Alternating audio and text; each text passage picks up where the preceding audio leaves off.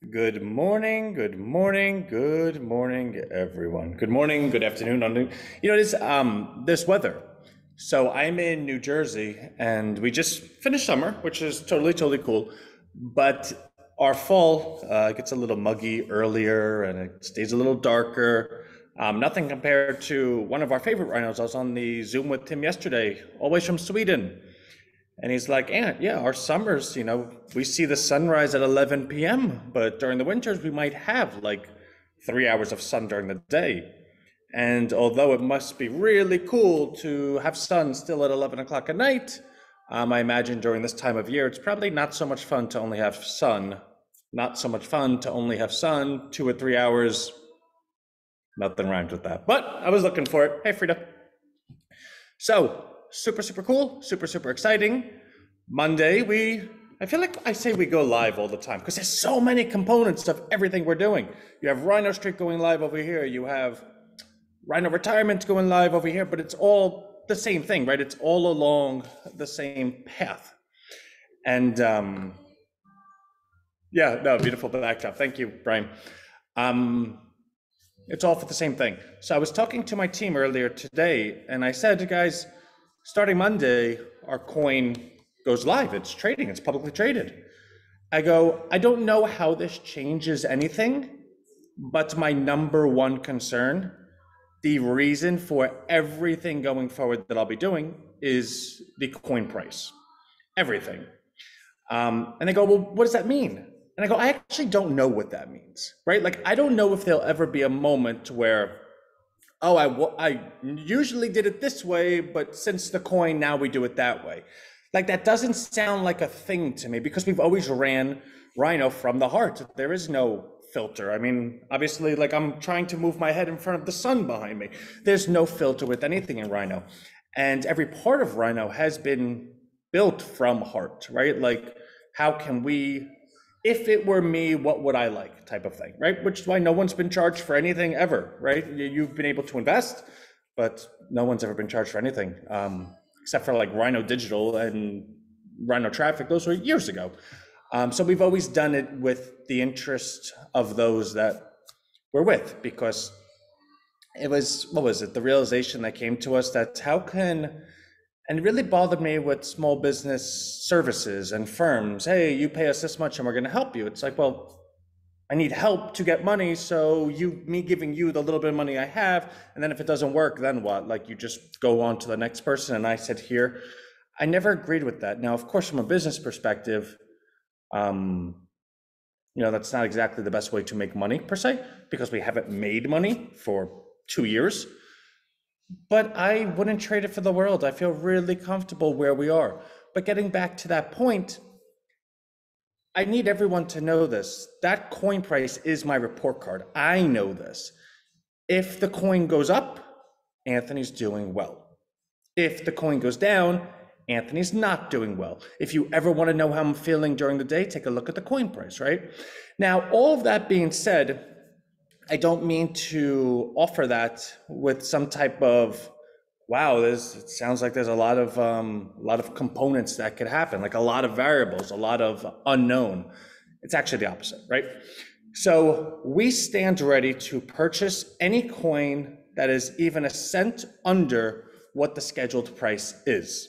Now, as you've seen in every email, today's with $1.23. It's been as low as a dollar. And for those that got into Rhino December of 2021, um, you remember when we did our, when we were just thinking about thinking and we did it for a penny. And then February was what, two cents? Then March was three cents, was a cent a month. So there are a lot of people in Rhino that have made a lot of money, at least on paper. Some have cashed out and, and we've, we've, uh, we've paid all distributions. Um, but on paper, there's people that have like a million coin or two million coin, or I think someone has five million coin, right? Like people took uh, advantage of the opportunity, which is great. Um, so that being said, the whole the whole structure of this market is that two things two things can be true simultaneously. The coin is worth more than it's being sold for, and you can buy it for the price it's being sold for while knowing it's worth more money. Now, it seems like those two things don't jive with each other, but they do. And here's how that works.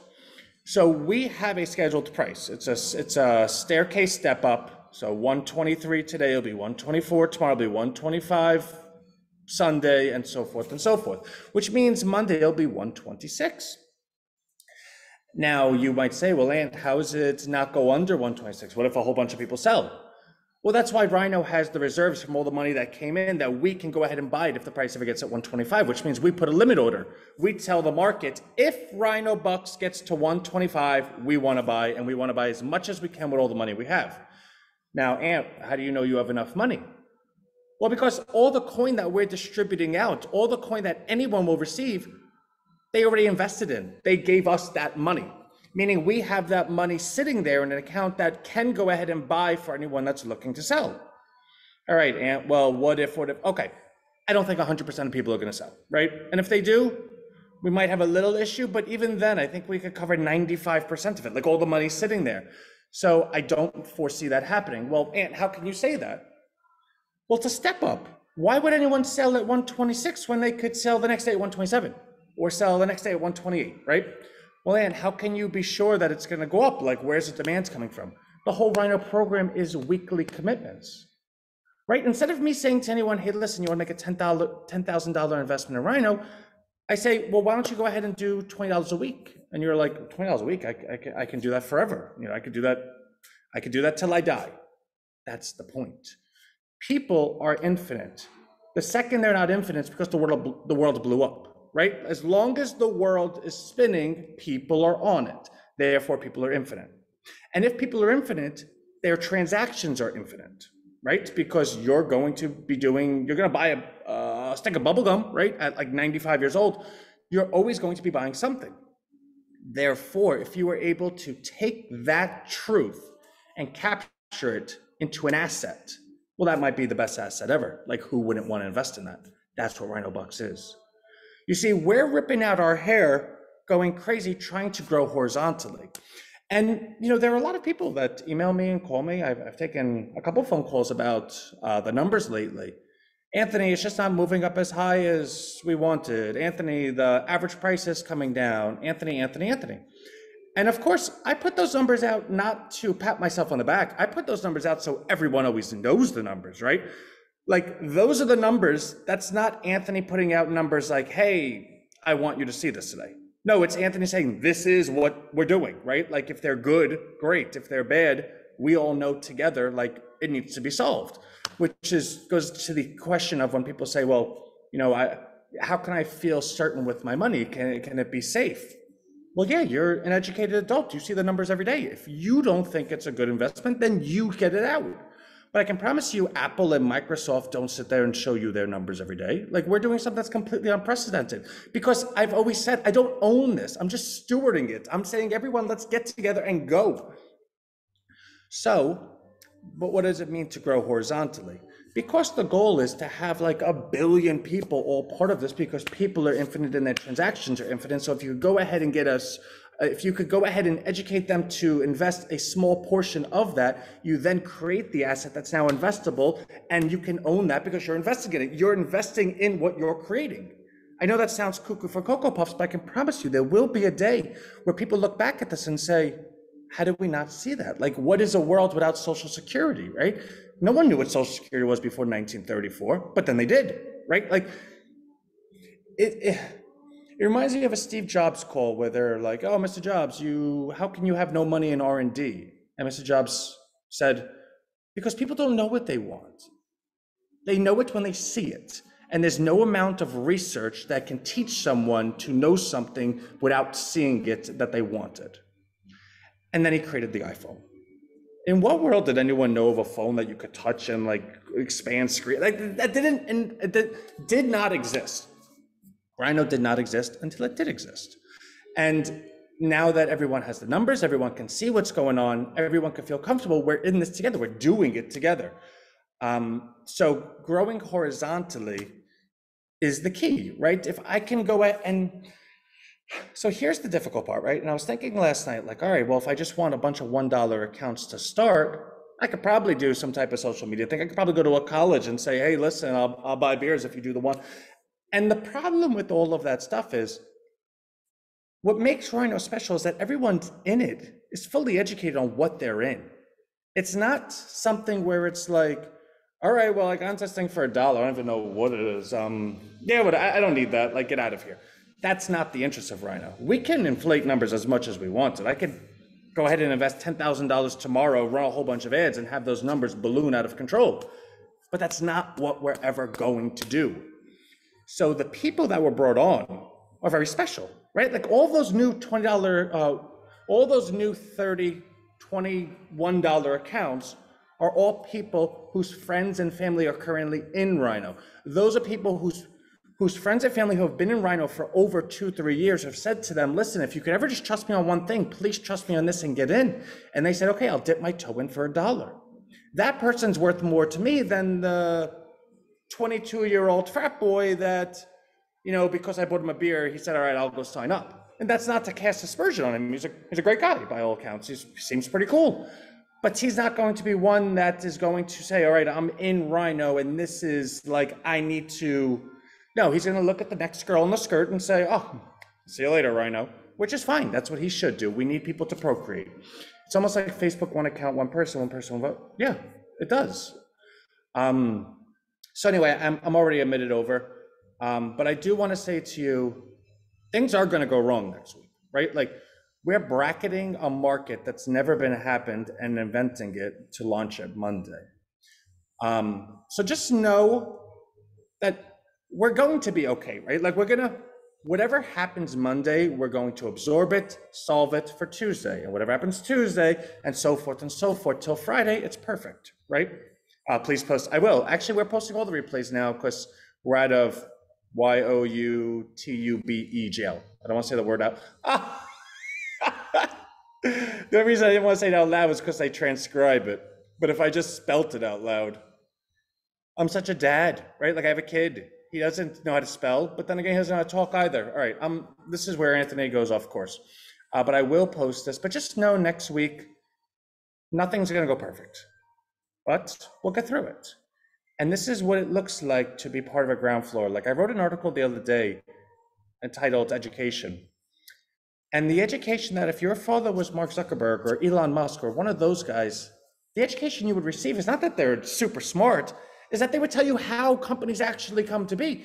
Elon Musk will tell you that he actually laid on the factory floor and slept there for three years in a row. Mark Zuckerberg will tell you he lost his girlfriend, was the biggest joke and, and dork, had no friends, and just sat there crying over his ex while he's sitting there coding computer stuff.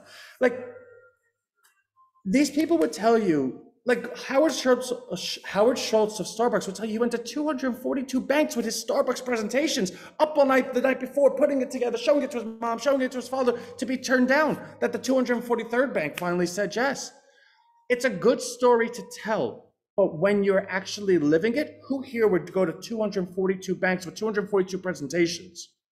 I don't think you would. It reminds me of when I was working in Wall Street, and I'll, I'll let you go with this the manager, and I'll always remember this, comes out and goes, raise your hand if you would do anything for a million dollars. And everyone raised your hand, like, duh, why not? And in each, every single person, he said the things that they wouldn't do. You wouldn't stay after five o'clock because you go to the bar for happy hour. You don't come in on Saturdays because your children have soccer practice. You don't, you don't come in at 8 a.m. because you say you, um, you know, you take your wife to work or something, right? Like he started point, you take our lunches so you're not here working as hard as the others are. You don't come in at three in the morning and start by calling Europe to go ahead and get a, a leg up on what others are not doing in the US. And he went, um, can we sell coin and then reinvest into Rhino Weekly? I feel like that's like um, money from left pocket to right pocket type of thing. Um, let me think about that because I, I, actually, it's not calculating in my head. Um, but the point of the story is there's things that you have to do if you want to be in one of those companies and those children know it because their parents shared their experience with them. People such as you and and, and me to an extent i mean obviously we're here but like the normal people have been taught that success is all right if it didn't work move on. Oh did you try your hardest? Okay that's okay. Oh that person's lucky. It's it's white privilege. It's it's some kind of privilege. No, you you can't listen don't dream that big or give away things for free. What are you, crazy? Like we did um, a thing, uh, clear the list on Twitter. We donated twenty-three thousand dollars to two hundred and thirty-eight different stranger teachers. And I can't even tell you how many people are like, Anthony, what'd you get out of that? I go, I don't know what I got out of it. I really don't. And maybe one day it will be proven that we've gotten nothing. But there is also a chance that one of those teachers or someone that noticed or someone somewhere something will look back and say, I don't know who these rhino people are. And if I'm going to make this decision and someone's going to say, well, actually, why don't you take a look at this? And they'll say, what, what, yeah, what did they get out of this? I'm sure they, like, no, nothing. They, they actually just did it. They did it really quietly. And that's who Rhino is.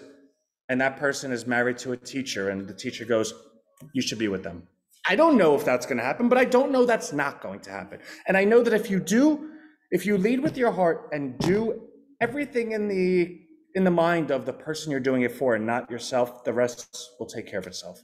So with that, please um, have the best day. I'll see you guys tomorrow. It's not like we don't do a Saturday live. Um, but next week's going to be exciting. And I'll tell you the biggest fear I have that this is going to go much faster than than I'm prepared for. Because I'm talking about managed market and schedule this and that. Maybe there's someone that's like, all right, and we put a consortium together of like a billion dollars. We're going to blow it out of the water, and all these accounts that you have are just going to run it up. And you know what? We'll do it that way.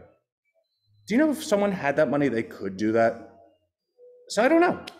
All I know is that we are going to get there. Like, that's not my concern. The path is already there. It's when we get there, will we be smart enough to know when to pivot, how to pivot, and the things that we'll need to do at that point. So I'm seven minutes over. I love y'all. I currently don't. Visit more as I like. Um, yeah, no. Uh, listen, anything you need, I'll, the answer is yes. Um, love everyone, and have a great Friday. Bye.